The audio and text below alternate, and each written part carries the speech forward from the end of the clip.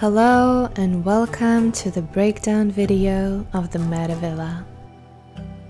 My name is Anastasia. I'm the creator of the project and I'm glad that you joined me today. This project goes all the way back to 2021. So, in celebration of its one year anniversary and its official release, I wanted to share with you the experience I had working on it including all the challenges we had to overcome, as well as the nitty gritty details that you all like to hear. The Metavilla was meant to be streamed onto Web 2 and Web 3 platforms via Pixel streaming service, so the first step was to optimize the geometry. Coming from an architectural background, I had the perfect tool in mind, Rhinoceros 3D. It's an amazing tool and it helped me reduce all the meshes and the vertices of all the complex and beautiful works of art made by Paul Milinski. After overcoming this first major barrier, the second step was optimizing materials and textures so that everything will run smoothly and neatly. In my opinion, there is nothing worse than a beautiful virtual experience that is lagging. It is important to note that the project was created during the time when Epic was releasing new versions of Unreal every other month. Don't get me wrong, those updates were crucial and great, However, they also bought with themselves a bag of bugs and other system malfunctions. But hey, what doesn't kill you make you better at troubleshooting, am I right?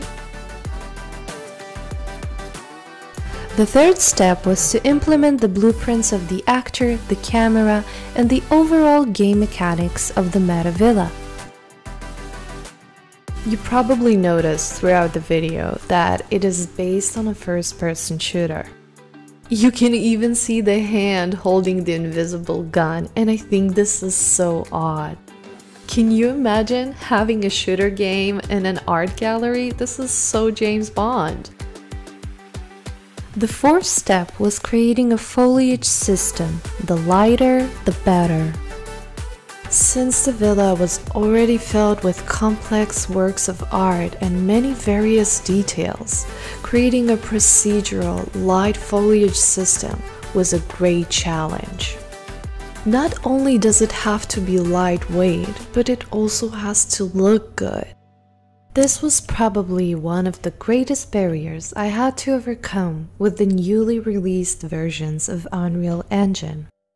Back then, I was working on a preview version of Unreal Engine 5, and sadly, the foliage was not compatible with Nanite, which made it extremely complicated to work with. My solution to the issue was taking each of the foliage elements one by one and changing manually their LODs, their texture resolutions, as well as reducing the view of distance to the bare minimum. Unfortunately, it is very visible on the trees since the branches are kind of wonky, but I would like to say that it was a design choice. However, after applying the procedural foliage system, my performance decreased drastically, and so I installed the plugin that would eventually save it all. NVIDIA DLSS. There was even a moment in which the translucent and the transparent materials were working correctly in the beta version of Unreal 5, and that was a very exciting moment for all of us. Once we've got the overall design, the optimization, and the art directing done, it was time to test out some new versions of the Meta Villa. I've decided to give it a go and create a night view sketch in hopes that this will be a day and night mode kind of experience. I think this mode is so magical and mysterious that I've even decided to finish the night render after the project was complete. It adds an aesthetic value to the villa, almost as if you're walking in a museum at night after everyone has already left. The next and final step was implementing and figuring out the UX and the UI designs of the experience. With the help of Dissrup design team, we came up with a clean and sophisticated design that will make the experience both immersive and easy to navigate. After that, all that was left was to refine the small details and make sure that everything runs smoothly on all platforms. And here is the final result.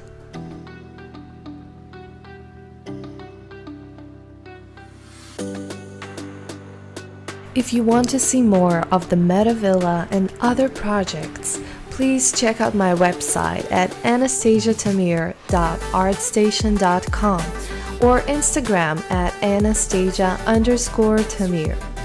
Thank you so much for sharing this journey with me, and I hope to see you soon. Goodbye!